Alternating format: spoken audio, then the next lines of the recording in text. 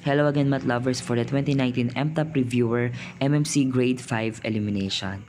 Again, this is I Love Math, and this is the question number 2 uh, that was adapted from the 2019 MTAP Math Elimination.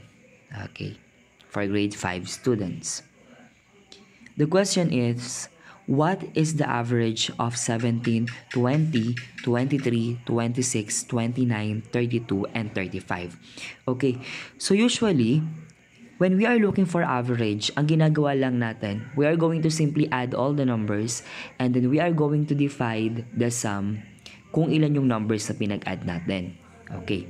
Let's say for example, 1, 2, 3, 4, 5, 6, 7. I-add natin tong 7 numbers na to divided by 7 and that will be the average of the numbers.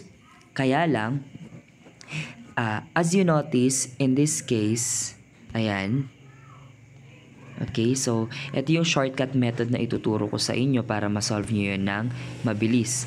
Okay, so observe that 17, 20, 23, 26, 29, 32, and 35 are consecutive numbers with a common difference of 3. Okay, magkaka consecutive numbers sila, magkakasunod na numbers na merong common difference na 3. Ibig sabihin, kapag sinubtract natin yung uh, succeed, uh, succeeding number to the previous number, ang sagot niya 3. Let's say for example, 35 minus 32 ang sagot niya 3, 32 minus 29 ang sagot niya 3, hanggang makarating kay 17. Okay?